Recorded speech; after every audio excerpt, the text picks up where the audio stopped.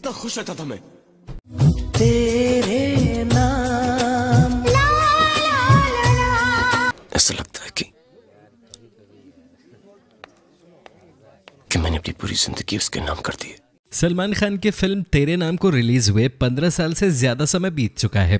आमतौर पर किसी भी फ़िल्म में दर्शक हैप्पी एंडिंग देखना पसंद करते हैं मगर सलमान की इस फ़िल्म ने सभी को आखिर में रुला दिया था।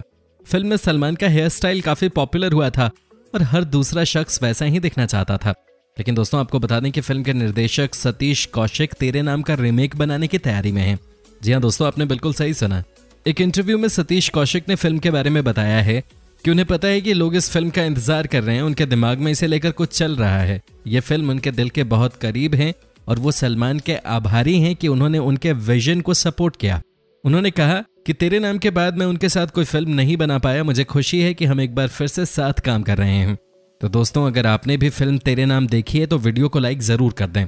दोस्तों, तेरे नाम की बात करें तो फ़िल्म साल 2003 में रिलीज़ हुई थी। फ़िल्म में सलमान ने राधे का किरदार निभाया था।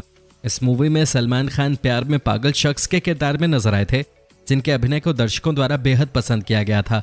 और ये फ़िल्म उस साल की ब्लॉकबस्टर फ़िल्म की लिस्ट में शामिल हुए थे। जैसा कि आप जानते हैं, कहानी में बताया गया था कि राधे कॉलेज का स्टूडेंट होता है और उसे पहले ही नज़र में निर्जला से प्यार हो जाता है, लेकिन शुरू में निर्जला राधे को पसंद नहीं करती, पर धीरे धीरे निर्जला को भी राधे से प्यार हो जाता है। लेकिन एक हादसे की वजह से राधे पागल हो जाता है, जिसे किसी से मिलने नहीं दिया जाता, पर वो काफ़ी मशक्कत के बाद किसी तरह अपनी प्रेमिका से मिलने पहुँच जाते हैं। जब वहाँ पहुँचते हैं तो उनको पता चलता है कि उनकी प्रेमिका की मौत हो चुकी है। फ़िल्म की स्टोरी इंटरेस्टिंग थी और इस फ़िल्म को बहुत ज़्यादा लाजवाब बनाया फ़िल्म के गानों ने। ये फ़िल्म बहुत बड़ी हिट साबित हुई और साल 2003 से ही लोग इसके सेकेंड पार्ट का बेसब्री से इंतज़ार कर रहे थे। अब आपको बता दें कि ये इंतज़ार खत्म होने वाला है क्योंकि तेरे नाम का सेकेंड पार्ट बहुत जल्द पर्दे पे आने वाला है। इस फ़िल्म को सतीश कौशिक ही डायरेक्ट करेंगे।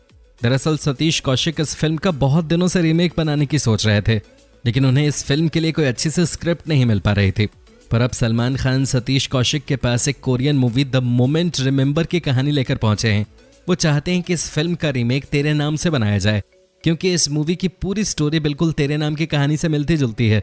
वहीं बात करें इस फ़िल्म के स्टार कास्ट की तो आपको बता दें कि फ़िल्म में लीड एक्टर के तौर पे हमें सलमान खान तो नज़र आएँगे ही, लेकिन निर्जला का किरदार निभाती हुई इस फ़िल्म में हमें कटरीना कैफ देखने को मिलेंगे।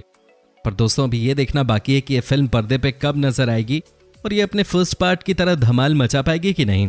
तो दोस्तों, अगर आपको भी फ़िल्म तेरे नाम के सेकेंड पार्ट का बेसब्री से इंतज़ार है तो हमें कॉमेंट सेक्शन में यस लिखकर ज़रूर बताएँ। और दोस्तों, अगर वीडियो अच्छी लगी तो इसे लाइक करें और अपने दोस्तों के साथ शेयर करें। और अगर आप हमारे चैनल पर नए हैं तो जल्द से जल्द हमारे चैनल को सब्सक्राइब ज़रूर कर